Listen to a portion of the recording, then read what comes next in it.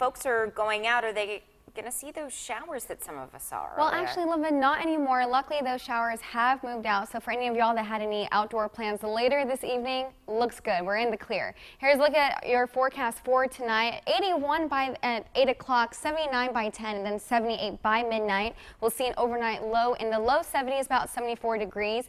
Tomorrow morning, temperatures will be in the mid 70s, about 75 by 8 a.m., 80 at noon, and then 86 at 4. We'll have a high of 87 tomorrow with a mixture of some sun and clouds, very similar to what we saw today. Here's a look at our map showing us the big picture. We have this area of high pressure just above us, and at the same time, we also have the remnants of Julia just down to the south. Now, what this means is that the high pressure will be giving us more uh, increased cloud coverage. So, uh, the, what you saw today will continue for at least a few more days going into the weekend and early next week. And the uh, moisture from Julia will be actually increasing our rain chances as well. I'll show you right now in our forecast model for tomorrow. We're going to start off Sunday mainly clear, just like what we saw today, but then around uh, 5 to 6 o'clock, we should see some showers start to pop up. Kingstree all the way down, stretching to Walterboro.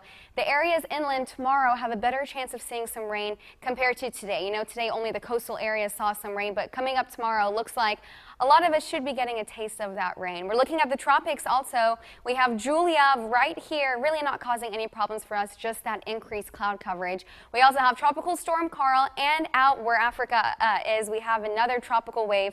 Uh, right now, there's really no concern. Here's a look at the track for Julia. It has a circular motion and it's very unorganized. All Julia is going to be bringing us is just a lot of clouds and possible showers in the afternoon and evening hours. Karl, though, has a better chance uh, of becoming a Category 1 hurricane. So by Wednesday or Thursday, it looks like Karl should become a hurricane, but we'll keep our eyes on it and let you guys know if it develops into anything that we should really be worried about.